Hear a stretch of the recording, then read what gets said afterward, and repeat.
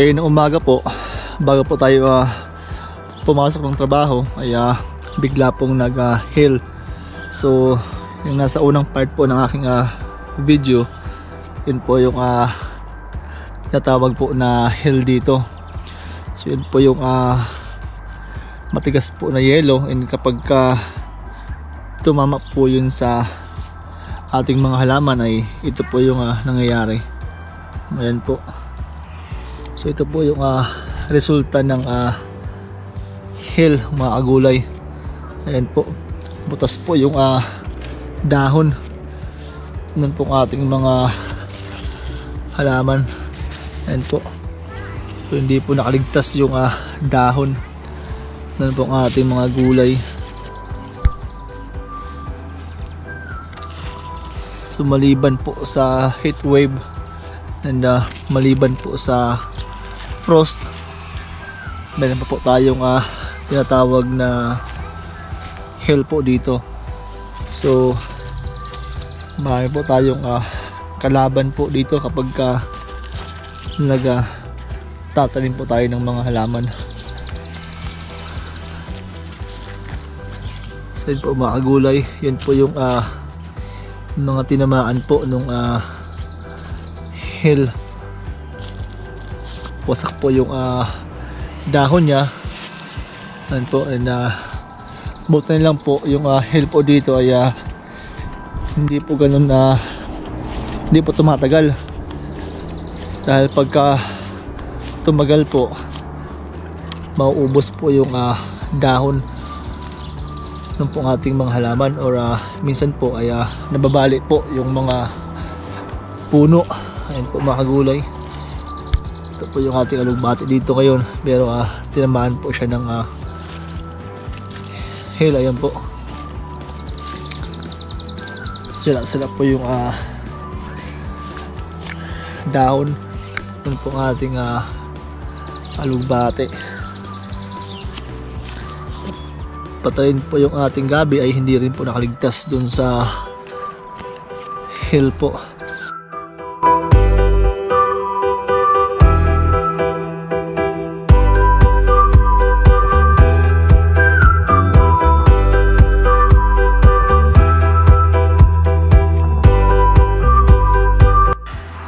ng dahon ng pong ating talong. Pati po itong ating ah, okra ay uh, sira din po. Ayan po. Lagas-lagas po yung ah, dahon.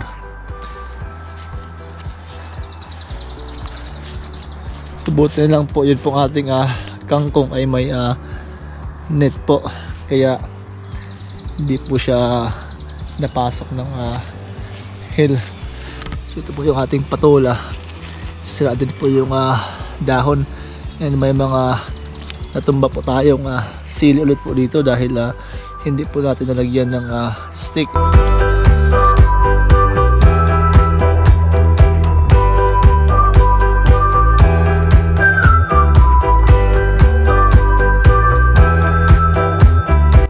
So yung atin naman pong ampalaya ayan po. Lagas-lagas po yung ah, dahon. So maliban po sa hill kanina ay ah, malakas din po yung ulan. Kaya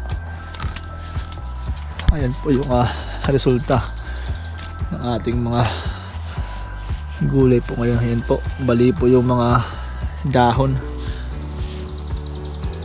Buti lang po wala pong ah, nabaling puno.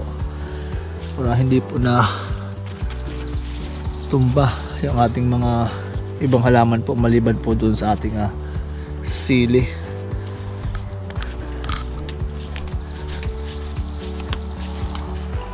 Sipat rin po yung ating sayote. Ayan po. Hindi rin po nakaligtas. Butas din po yung ah, dahon. Ayan, ngayon po medyo na ayan, ngayon po medyo makulimlim kaya mukhang ah, uulan na naman po ay na sana hindi na po magkahil so dahil malapad po yung dahon nun po ang ating asukini ayan po mga gulay. Butas butas po lahat ng dahon niya. Yan, sira po.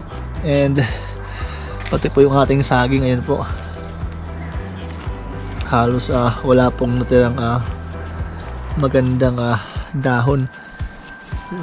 Lasag po lahat ng ah, dahon mga kagulay. Nun po ang ating ah, saging ating ah, ibang zucchini sila din po lahat ng ah, dahon. So puntahan po natin yun po ang ating ah, alugbate dito po sa likod ng ating ah, bahay. Tingnan po natin kung ano po yung ah, nangyari. So ayan po. Sila sila din po yung ah, dahon ng po ating ah, alugbati po dito. Yung ating pong kangkong ay ah, okay po dahil ah, meron po siyang ah, net. Pati po yung naan pero dito po ayun po bali-bali po yung ah, dahon ng pong ating ah, squash ah, shoots po dito. Ayun po mga kagulay binali po ng ah, hill yun ating mga squash shoots po dito sa likod po ng ating ah, bahay.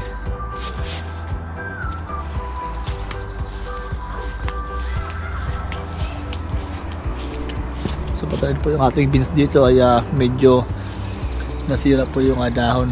So yung hill po kasi hindi po siya pare-pareho ng laki. May maliit po may malaki. So kaya po yung tama sa mga dahon.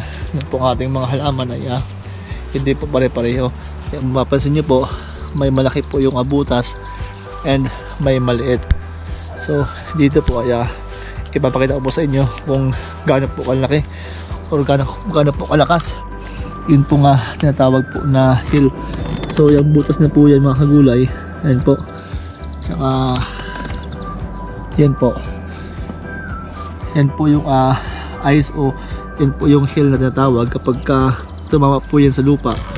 Ayan po pagka sobrang laki po nung hill ay ah, ganun po yung magiging itsura nya yan po yung ah, ganun po kalaki. Yung pong ah, yellow na bumabagsak po. Galing po sa taas. So kapag ka tinama ka po yan sa ulo mga kagulay ay ah, sigurado pong ah, bukol ang labas po. Dahil pagka tumama nga po sa lupa ay ah, malalim po yung kanyang ah, baon.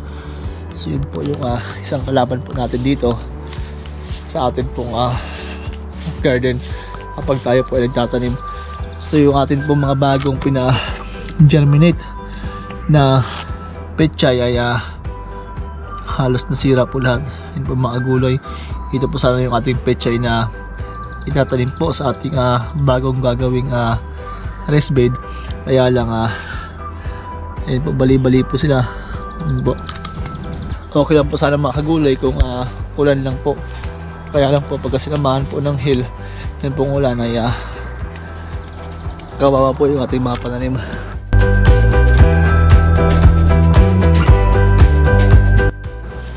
Halos po lahat ng ating ah, gulay po kayo dito sa ating ah, garden ay ah, nasira po. And ah, po halos ah, umagulay oh. bali po yung asanga ng pong ating ah, watermelon. Yan po bali po yung dahon. Ganun po siya kalakas. So dito pati po yung ating mga tomatoes po mga kagulay ay ah, hindi rin po nakaligtas. Yan po sa malakas na hill ayan po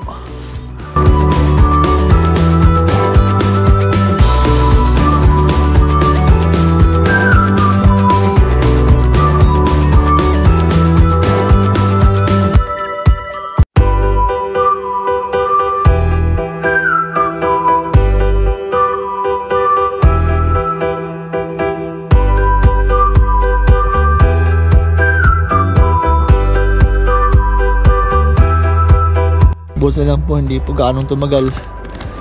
Yun pong uh, hill dahil kung hindi ubos po yung ating mga halaman ngayon po dito. So okay naman po yung ating uh, patatas dahil uh, hindi naman po ganun na kalapad yung dahon niya.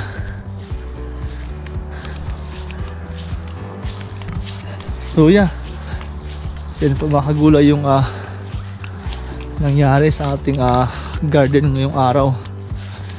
Tinamaan po tayo ng ah, hill. So patayin po yung ating ah, mais. Yan po. Sira-sira po yung dahon. Wala pong natirang maayos na dahon din po sa ating mais. So ganyan po kalakas mga kagulay. Yung pong ah, hill po dito kaninang ah, umaga. Po, sira din po yung mga dahon. Yan po ang ating mga mais po dito.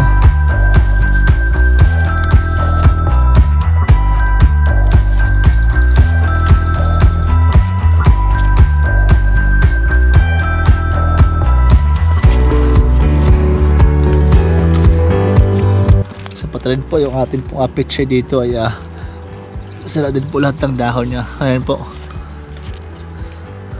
Ubos po lahat ng ah, dahon din ng ating pechay. Yan yung ating ah, saluyot po. Medyo nasira po yung dahon pero hindi naman po gaano. Yeah, so yan po ngayong makagulay yung ah, nangyari sa ating mga halaman. Ginawan po tayo ng hill ngayong araw